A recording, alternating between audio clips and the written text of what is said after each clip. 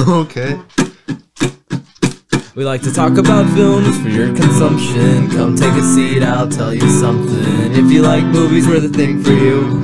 You're watching Film Brew. Podcast. We're your hosts. I'm Brody Mascarenas. And I'm Jason Perez. And this is the fifth episode of the Film Brew podcast. Welcome back, guys. Welcome back. I bet you guys haven't noticed our table is gone. table is now gone. All right. And it's um, a different setting. Yeah, back from episode one. Back Unfortunately, David isn't joining us this time Sadly. anymore. Uh, but yeah, so we went from what did we go from? We went from No no table to a, a small table to a large table Large table. to an even larger table and back to no Back table. to no table. But that's just how evolution works sometimes. Yeah. we said that by the fifth episode we'd have our stuff together uh, for the Film Brew podcast. Uh, In terms of like quality, maybe. Or maybe not production quality as well, but at least in quality of just the podcast. This might be one of those episodes that we we suggest listening to on Spotify other than YouTube. maybe. But, But, um, we don't know. We never know until yeah. after editing. I think, I mean, what difference does a table make besides place to put our table, coffee? We got and this small table. Speaking of places to put our coffee, Birdie, we can't be called Film Brew without, the brew. Real quick, Birdie, I want to show you guys a new feature we have on the show. Ready? You're not gonna believe this. That was the Okay, that was the wrong sound. Well, you're not gonna believe this. That was also the wrong one. You're not gonna believe this. Without the brew. Isn't that crazy? That's crazy. We got our own button in the studio. Anyway, Birdie, do me a big favor and explain the coffee for today. So today we're having very different. It's February, and we have two cups of ice. Why? Because I was gonna give some like pretentious spew about this, but the honesty is that we don't make money off of this. We're not sponsored by anyone, so sometimes we have to come up with different ideas to keep it fresh. Because we said we are gonna do a different copy coffee for every episode. We're gonna do a different coffee. We're never gonna repeat coffees. So when you run in into situation, sometimes you just gotta have some fizzy cold brew. And the unfortunate reality is coffee is very expensive. Um, good coffee is very expensive. And, you know, sometimes, you know, funds are running low. And so we're going to grab a nice cold brew. Cold brew coffee, espresso roast from Chameleon. Where'd you buy that, Birdie? Dog. Target. Anyways, so I'm not a professional in this, you know. I explained, and I think like two episodes ago, that I, as much of a lover of coffee I am, I'm simply still in the learning process of making coffee. So Yeah. fizzy cold brew isn't that hard, but I don't want to get it wrong, which I probably will. But I think it's half a cup or a cup of cold brew and a cup of sparkling water. Maybe half a cup, but we're gonna do. We're gonna. Okay, yeah. I don't know measurements. All right, we're gonna Birdie. test this out. Give us a pour.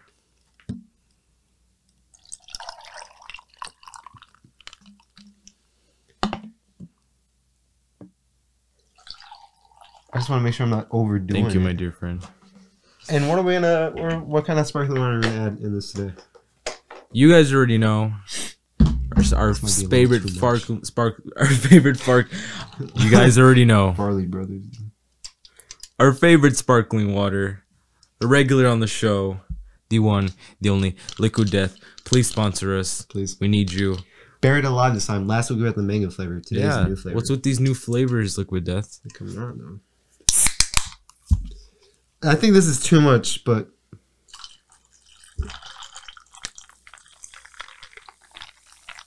You got a mixing utensil?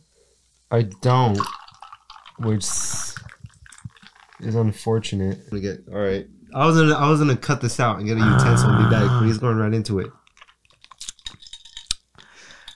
It's really good. You know what?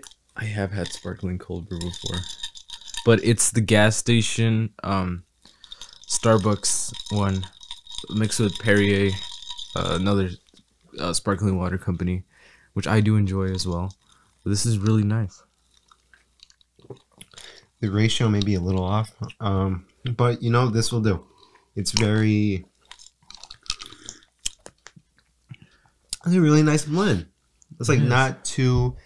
It's not too strong and it's not too light either. It's very. It is. Yeah, I feel like it brings out more of the like the richness of coffee. And also gives it a sweetness too, because it is what is it? Definitely buried and alive. Buried, Buried alive. Definitely buried some alive. berry flavors in here. Anyways, you know we're called Film Brew, not just brew. So we got a film for this week, and that's of course the Watermelon Woman, as we said last week, directed by Cheryl Dunye. Yeah. So continuing on our our uh, you know Black History kind of binge, um, this is I think this is the most, and I think this is the most appropriate film for uh Black History Month As it's very much about Black history, in film. fake Black history, but Black history nonetheless. Yeah, so Dunye, born May 13th, 1966 in Liberia. She's a director and producer. Again, most well known for The Watermelon Woman. And the Watermelon Woman came out in like the around mid '90s, I think, Mhm. and it was, uh, although not as well known as other films, it was really big, especially for the whole '90s queer cinema movement that Yeah. happened. You know, and uh, especially it was directed by a black lesbian. It was, you know, that was very rare during this time, and so it created a really, I- you know, for that audience it was really important. I'm glad it's getting a lot of recognition now because it's been, I believe it's been lost for some time until Yes. it was picked up again by. It was a historian. I think it was something about cultural art or something. I should have read more into that, but it got picked up, and now Criterion has part of it. There's no Criterion release. It would be really cool if, for whatever reason, someone at Criterion is listening to this, put out Watermelon Woman on Criterion. I'll buy it. That'd be great. Um, I read somewhere that that upon the release of Watermelon Woman, it wasn't uh, very well recognized in the United States. That it didn't do very well. I Actually, had a very small budget of about three hundred thousand dollars, um, which makes sense. Um, but the three hundred thousand dollars given for the production of this film by actually the NEA. So the NEA is the actually the National Endowment for the Arts. Uh, so it's a grant basically given to this film. And the interesting part that I wanted to inform you about, Birdie, is that uh, upon the release in the United States, it got some controversy from a Michigan Republican. I'm not sure. I'm not going to pronounce this right, but it's Peter Ho- Hoeskra. So he actually cited this as an inappropriate use for government funds, is what he claimed what this movie was. And he said That's that it borderlines on the kind of like the line between film and pornography, is what he claimed. And I guess I think he is alluding to a brief, probably like 20 second, uh, kind of nude scene uh, later in the film Yeah. and this really i think this is important because it really kind of proves the message that the film Yeah. is trying to put out that because Cheryl Dunye had has kind of like a fascination in real life for black history inside of filmmaking and this fascination is because of black filmmakers they have a really hard time of, of having their history kind of put into film for two reasons one is lack of funding and the other is kind of a lot of people will see it as taboo especially back in the day. Thankfully it's becoming more normal to see a lot of black filmmakers and that's why we're celebrating this. But you know back in a different era we saw a lot of you know like the 90s, misrepresentation. Yeah. You know, like 30ish years ago. But it's still, you know, we had a conversation about this in class a few days ago about censorship, and this kind of goes into it, you know, because um, a lot of the times, you know, you know, if like in films about, you know, not just you know white, you know, relations within film, but you know, just straight relations in film and portrayed in this way doesn't get that big of a controversy. You know, it always will, you know, because yeah um, sex and nudity in American in American culture is so different, and we look at it so differently than other cultures around the world. especially sex and nudity of women Yeah, it's it's very kind of frowned upon in American culture, whereas kind of nudity of males isn't that uh seen as taboo as when a female does it. Eh, That's that may be true, but what is shown more often in films? Yeah, definitely female nudity. Yeah. So it's such so it's such weird. It was like when there will be female nudity or because it, will be shown in two different ways. You know, you see something like Watermelon Woman where it's obvious. You know, the the women on screen that are you know nude, they're in power of their bodies in this situation. You know, Yeah. you know they're you know, it's there's a purpose towards it as in you could usually tell not always not not every man or male director does this but in times when you're watching like a film from the 80s even the 90s where there's a, either a sex scene or uh, you know nudity in film you know you could sometimes Yeah. get that creepy sense that oh this is filmed by a man But the unfortunate part is that nudity in films is kind of all seen the same way by a lot of people. Not by everyone, but by a lot of people. Just like that um that what was it that that guy we talked about who he saw it as, you know, he's like, Yeah, this is pornography pretty much. Yeah, if you like, there's, it always makes me mad. It's such a big thing, like censorship in film overall, because it's always when people tell you what is and what isn't your own art, your own Yeah. creation. You know, they'll say it's either it's a movie or it's porn. You know, and sometimes people just say violence is porn. You know, too much violence goes into that category, or too much of anything goes in that category. Too much of anything that isn't. Do you know the standard American pride within film, you know, the standard Gone with the Wind stuff. It's goes in the category X rated or something, you know. Well, uh, reading more into that article, it actually says that he tried unsuccessfully. By the way, he tried to get his colleagues in Congress to deduct Dunye's um, budget by thirty-one thousand dollars from that NEA grant.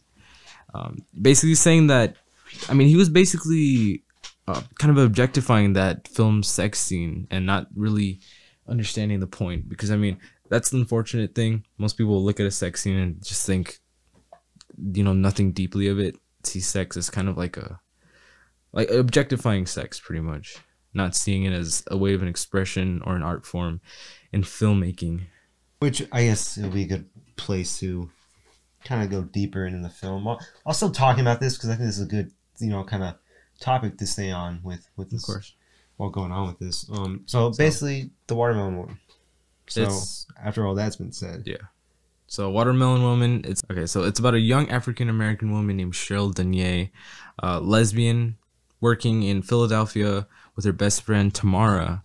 Um, she basically becomes consumed with this film project about a an African American actress uh, performing in films in the 1930s, going under the name of the Watermelon Woman.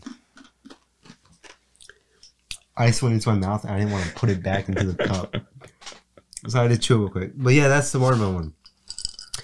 This is very much a film that could have been made with little. To, it was obviously a very little budget, but you know, I, you see it happens. You know, you're not going to just put it back into the cup. I think Clerks had around uh, even lower budget, so I think even if they took the budget away, this film could have could have been made in one way or another. You know Yeah. And um, it's a very low budget film. But to me, it was so surprising watching this film. It wasn't that surprising after you know thinking about it for a little more. But my first initial thought was like, why isn't this as talked about? You know, because like Yeah. my first watch with this, you know, it's about this you know woman who works in a video store trying to make a documentary film. Like that's such a '90s film. Yeah. you know? And the way it's kind of composed um, is a bit different too, because I mean, we have the opening shot where it's filmed as kind of like videographers uh, recording a wedding. I think I Right. listened to an interview when she was talking about her her first introduction with film was that her dad was a wedding videographer, I believe. So that was interesting. Yeah.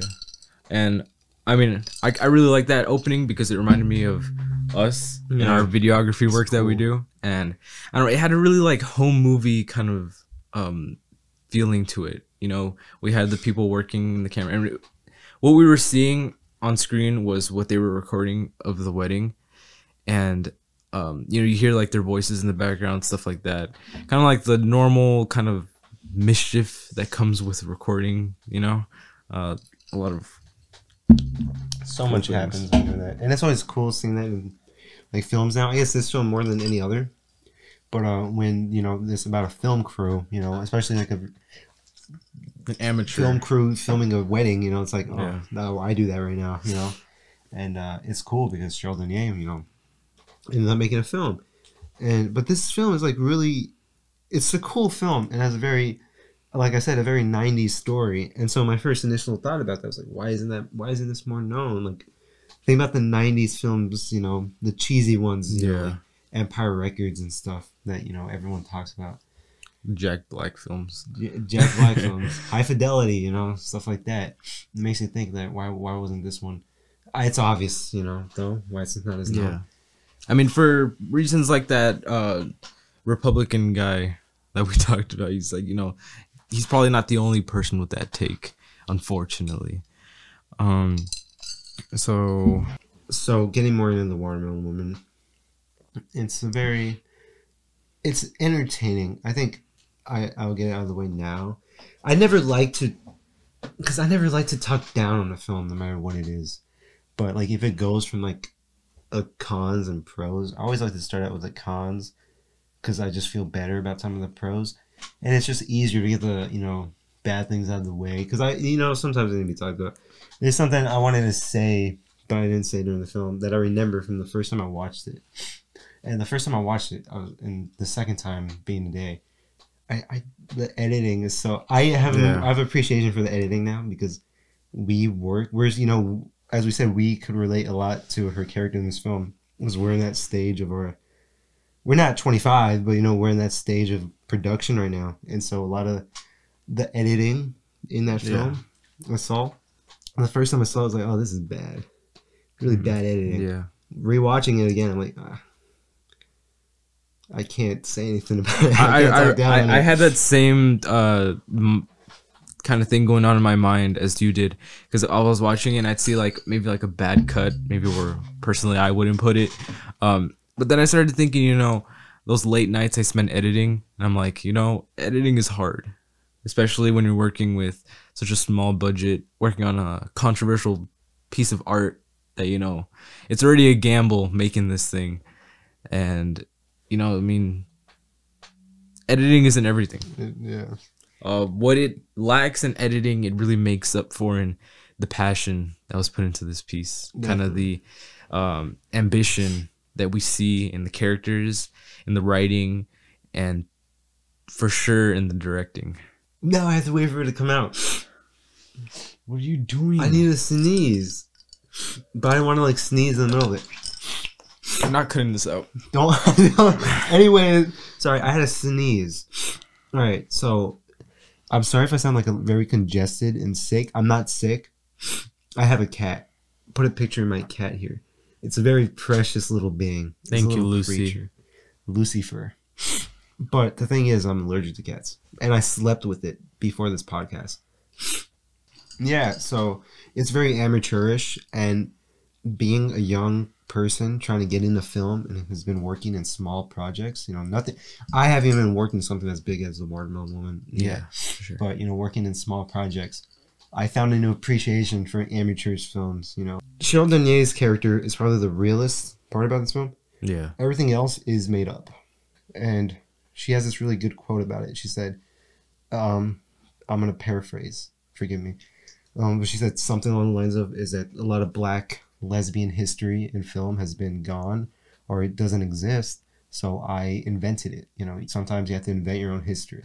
She said something like that and that was really cool because knowing that watching this film how much she wrote into these fictional stories you know just to create some type of history for herself that you know otherwise has been either destroyed or erased or just doesn't exist at all you know that's really cool and even beyond that i just think a lot of the writing is really snappy it's really 90s writing but it, Yeah. I always enjoyed '90s writing. It's entertaining me. I love the conversations. There are a lot of funny moments. It's a really film. funny film. Yeah. Um, and you know what what you just said about kind of the lack of, you know, the availability of the lesbian in Black history. Um, it really just comes from the lack of resources being given to, or at least back in the day, uh, the lack of resources given to the black community, to the lesbian community, And this really shows um, you know? to document. Yeah, the whole part of Yeah. like her just trying so hard to find information about this person. That's you know that you know a lot. Although a lot of this film is made up, a lot of it is real Yeah. in the sense that you know that makes sense. So Cheryl, trying to become working on a filmmaker, comes consumed with um, her project to do research on this uh, actress labeled Watermelon Woman. Um, Who we later find out his name is Fae Weathers, Weathers something like that. Richards, Richards, yeah. Fae Richards. At, around the same time she learns the real name of this actress, she also learns that the actress is lesbian. And um, I remember she in in the film she said something along the lines of, uh, "Me and Fae have now have two things in common: liking women and liking film." She says something near the end of the film about when uh, she was talking to I think was Fae's partner by the time of her death. And mm-hmm. she was like, "What Fae meant to you is different from Fae what it meant to me. Like it means hope." And and within that, that's really cool because like, because like one like you know you could look at this from two ways. At least Cheryl did. You know, look, there's not a lot of history of black lesbians in film. You know, how am I gonna make a film if there's not any history? So what did she do? She made a film about finding that history. You know. Yeah, That's what she did. And so representation within the film world one exists somewhere, you know, you just have to find it, you know. People always say representation matters and, and stuff like that. And like when a Coco came out, it was a big deal about it. yeah, And but the thing is, like, uh, I guess it's a lot different, especially for a, uh black cinema in this world, um, because a lot of that is within America. You know, like with Mexican films, you know, Mexico's a country. It's got a whole country of culture and film. You know, a lot of black history gets ruined within American culture and you know Yeah. white culture, so it's harder. But so when it comes to representation, representation doesn't matter, but it exists. the fact that someone is queer in the film or the fact that someone is black in the film doesn't make them feel like they're not human if that makes sense it doesn't make them feel like they're a foreign object that they're that they're extremely like an outlier i think the camera stopped recording So the camera stopped recording. So the camera stopped recording But that's fine. If it if it does it again, then we'll just fade to black. Have a photo of Lucifer up while we speak. I've seen uh, video podcasts do that sometimes. It happens. all right So if it dies again, that's what we'll do. anyway what was i saying you know this film didn't make it feel like um the fact that cheryl was black or lesbian it didn't make it feel like they were foreign in a sense to kind of their role in society within the film and i think that's important because there are films who do that very they tell it wrong made by who it's representing. Mhm. That's important because, like, one, it's very it's a personal film. There's a lot of talk about who they're trying to represent in this film. There's a lot of talk about them. That's what this film's about, you know. But they don't do it in a way to say. It, I guess the only way to put it is it's, it doesn't. It's not made by someone who isn't representing the film. Yeah It's not made by someone outside of what the film is trying to represent. it's an insider's perspective and that creates a lot of ambition because when you're someone who is a part of a misrepresented and underrepresented uh, community kind of taking on that initiative to represent it's it's a big thing to do and it takes a lot of courage and it takes a lot of um, willpower to do that and you know in this case cheryl Dunye did an amazing job um, i would love to see someone who you know falls into this category of maybe queer uh, someone part of the black community I, I'd, I'd love to see that their um, their opinion on this film thank you Bernie because we have been talked to by one of our viewers we won't specify their name about having someone who is part of what did Mr. Sane say you said you wouldn't out them. anyway Listen, we want to know if you're represented by these films we're talking about. Let us know about it. Let us know if you want to be on an episode. You know, what's coming up? Women History Month. You know, we're gonna do other stuff. If you're part of this group that we're trying to talk more about within film, and you know about your, your cultures in film within film, you know, like if you're like Cheryl Dunye and you do research about it, you know, that's really cool to us. Talk to us about it. Maybe you could be on a podcast. You know, We'd love to have you on the podcast. it was it was side by side. But when I poured it in, to when I took it out of your hand right now, what? it was like up here. That's fine. I'm thirsty. I didn't. I should have opened another. This is gonna be liquid death now. We have Man. flavored lime back here, but we'll try that outside of the camera. Sorry. yeah. I mean, if you guys were really here, you guys would be able to see it. Yeah, but you guys aren't. You guys aren't here. Um, so yeah, I, I really do think it's important to have someone who falls into the category who is represented by these films to talk to us because I mean, let's face it, we're two brown kids. We have no idea what it's like to be a queer black person uh, in the '90s, I guess. And Well, I don't think most people listening to this would know what that would Maybe. be in the 90s. maybe if there's any '90s people out there, Hey, where the 90s kids at? King Andrew. Uh, one thing I want to just take a tangent off to uh, talk more about the uh, substance within the film. And uh, I always loved within films is, you know, I, it's so, it could be cliche at times, especially again during 90s films. So this film is a very 90s film. But something I love about them is that when a character works in a video store, Like look at Randy from Scream, or even like High Fidelity, but that's the opposite. That's Yeah. like a record store. Well, real quick, working in a video, a character working in a video store, a very kind of overused um, cliche in '90s films, but this one just does it differently. I love all of that. I just love when characters talk about films. I'm, I don't know. It's just always cool. Like that one scene where Those are my uh, where she meets Diana and they're she's like, uh, "It's a two for one special," and then she's like, "Well, I recommend this one." She's like, "Hmm, no, uh, We'll I, I recommend this one." Hmm, no. I like that part. I like kind of that like when me and you go to the record store. That's true. I wish video stores still existed. If anything, that you know, out of everything this film teaches, all I learned is that I wish uh, video stores were still. That's all you learned from the watermelon. I'm joking. Um, yeah, but I, I love video stores, and I love the fact that she implemented video stores in this film. You know, I'm not sure if she worked at a video store in real life, but even if she didn't, it's still just cool that she implemented it because it goes into the whole thing about like you know, passion for. If anything, if you plan on going in the film, uh, the film, what's that word called? Industry, Not industry, but okay, yeah, film industry, but like line of work. line of work. If you plan on going into the line of work of film, watch this film. No matter what you know color you are, no matter what your orientation is, watch this film. It's you know it's a great film. It's a great film on the idea of filmmaking and what a filmmaker has to go through to uh, make a said film. So yeah, it's this is a film for so many different people. Yeah. and I think that's something so cool about this film. I think this this film is really important because it kind of represents how it feels to be consumed in something, how to be passionate about something. Because in one way or another, we're all passionate about something. Um, even if you think you're not, probably are. Um, we're passionate about podcasting and movies and coffee. So it shows kind of like the links that someone would be able to go through for their passion.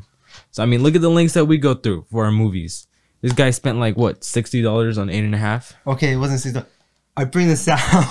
it cost me a lot of money, but I bring this out because what you were explaining, I think one of the best examples of it this one right here, eight and a half. Federico Fellini's eight and a half. Um, it's basically that same concept. It goes to an extreme, but yeah, I think the Watermelon Woman does that concept well within because it's such a well written film. Like even at the aspects, it isn't well made because again, it's a student film but in the aspects where it counts writing, it's a really well told story. It is. And, And I kind of love the dynamic of jumping from they're shooting, and I think I haven't checked, but I think it's 16 millimeter film, and it jumps between 16 millimeter film and uh, digital VHS film. Um, when it's shown in VHS film, it's when Cheryl's character is recording her little uh, her project on black representation or black history in film.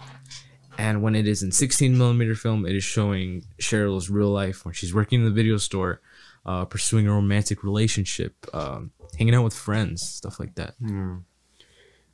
I think this is so weird to bring this up, but I'm just thinking about it. Hold on, I'll say this for the end. Edit this out. We'll save it for that. But yeah, a lot of what um Cheryl Dunye.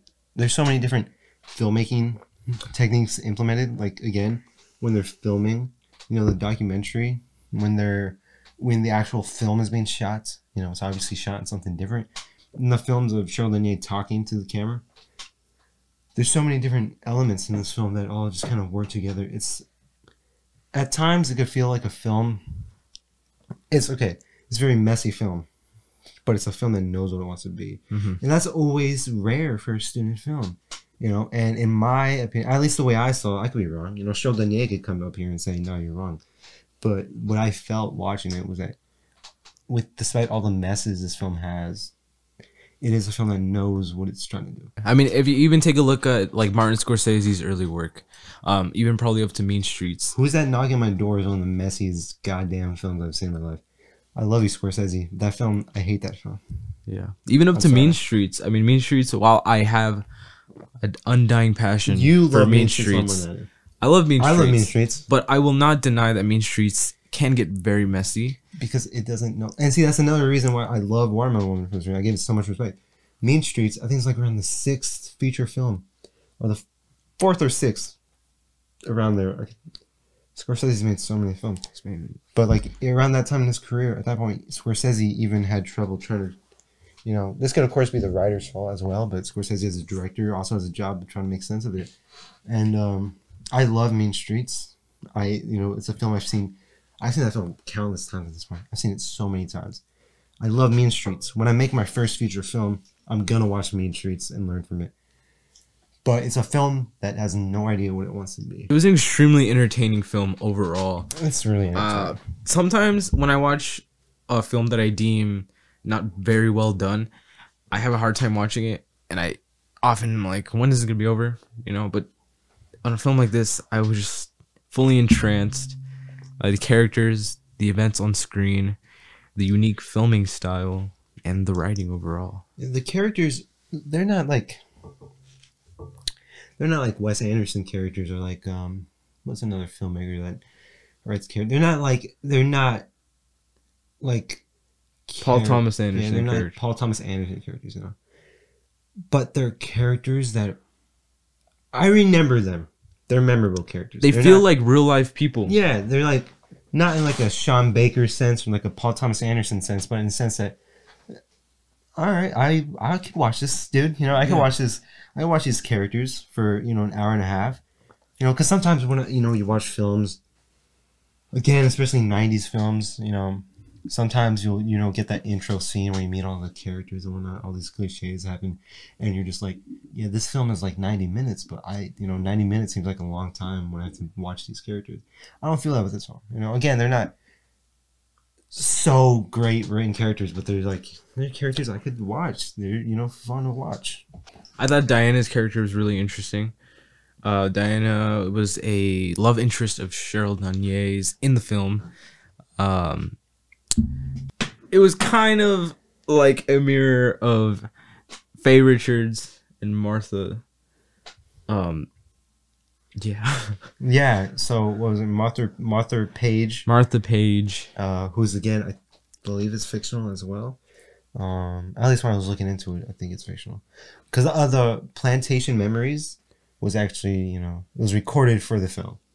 You know, Mm. uh, it was written by Cheryl Dunye and it was it was directed by someone else, but I just know it was filmed for that film specifically, so it doesn't exist.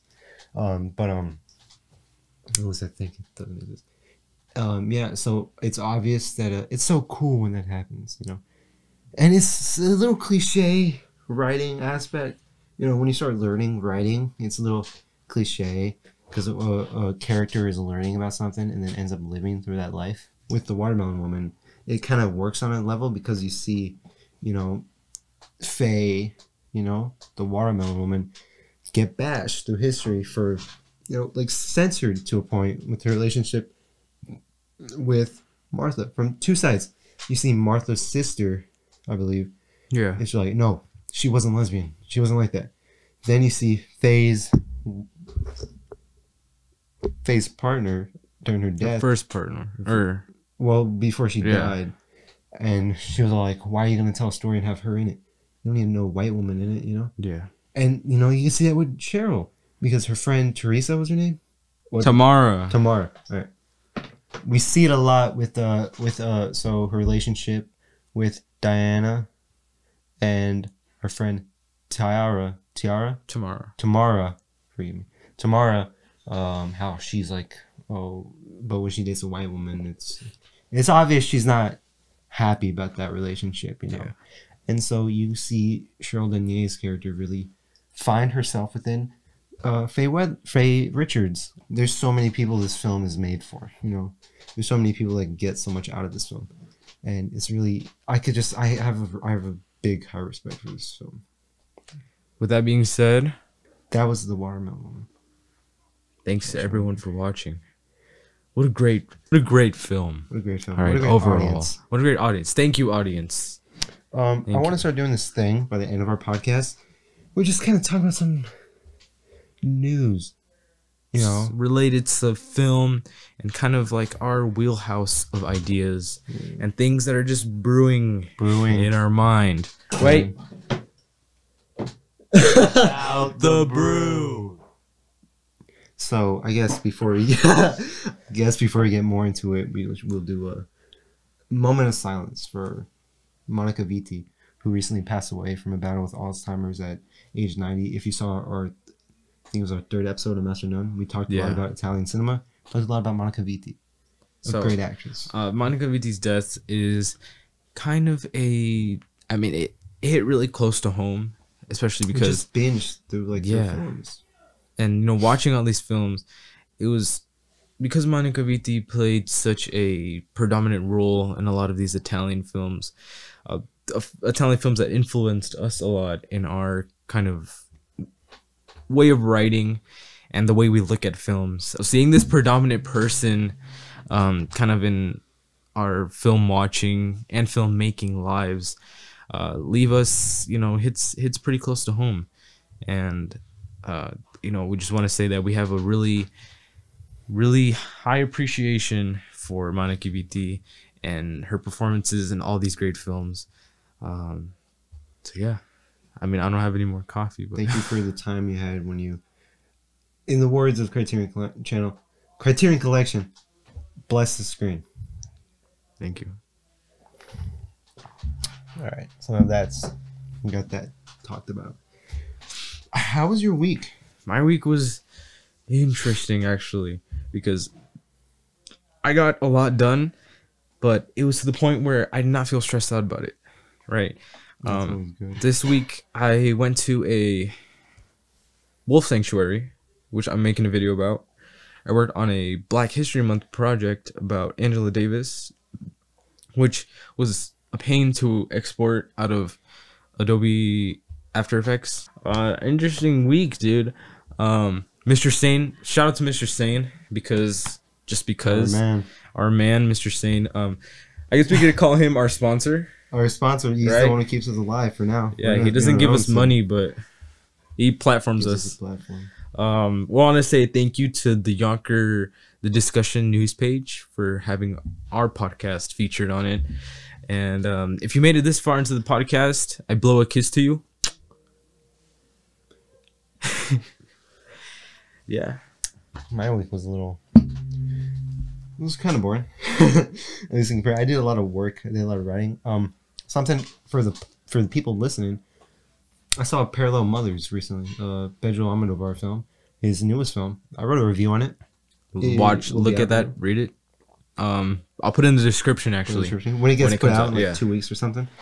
Um, but yeah, so I saw that film in theaters. I love the theaters. I love going to theaters. We're gonna be going nice. to theaters more often. We should do like a vlog type of thing where we go to the theaters. We just bring our camera into the theaters Into the theaters, and we watch I think that's illegal. I not think illegal. that's illegal. Not illegal. I don't know what you're talking about. No, but uh, you know, for you know, I guess we'll give a little schedule thing. We're not give the whole schedule away. We'll give next week's uh, title out. Look out for Wayne's. World.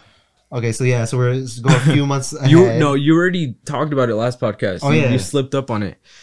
Wayne's World. We're gonna be going to the theater, watching Wayne's World in theaters. We're gonna do a podcast on that. The Batman's coming out. We're gonna check that out in theaters. Do a podcast on that, and you know we're gonna be trying to do more recent releases within film. Those might be separate from like we record. We have a schedule now, as I brought up last time. Every Friday we're gonna record it. and We'll get it out around every Tuesday or Monday. On the we get to channel, it'll be out earliest. So if you're a diehard viewer, you're gonna get it first on the YouTube channel. yeah. And then if It's you're al- always watching, like a few days after we record it, so like Sunday, Monday. yeah, if you're watching from the Yonker News page, then it'll probably come out probably the day after we put it on the YouTube channel. You know, wait, thank you for watching. Thank you for watching. Next week. Next week, next week. So yeah, we have a schedule. Those other films, they might come out possibly during different times. The schedule's gonna get wonky, but for now, we have a pretty solid schedule. So be expecting more podcasts. We're not gonna leave you in the blue. Next week, we'll be looking at Spike Lee's Bamboozled. And It's a very hard to find film. So I'm gonna tell you something. I have it here on Criterion. wait, Um, wait, wait.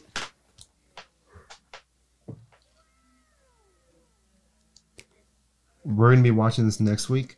I believe it's on YouTube. I don't know if you can find it anywhere else. If you can, do watch it because it gets taken off of platforms easily. Not because of the film itself, but because it's just a very hard to find film. It was recorded digitally with handheld cameras, which you're gonna. I don't know if you're gonna like or not. Um, I'm fine with digital. Okay.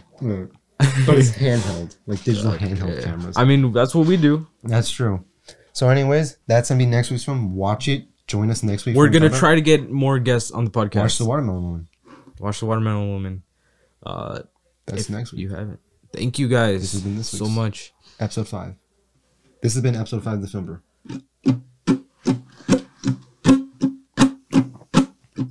We like to talk about films for your consumption. Come take a seat, I'll tell you something. If you like movies, we're the thing for you. You're watching Film Brew. Podcast. This was really good. I enjoyed this. We went through two cans, and I was gonna say. Give me the rest. Beat it to me while I'm playing the guitar. Give me your nectar, birdie. Don't say that. Okay, you're taking this. You're taking this. This is yours now. I'm waiting for it.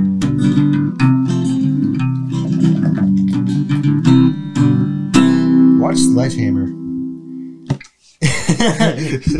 take this. You take this. I wonder if they cut out.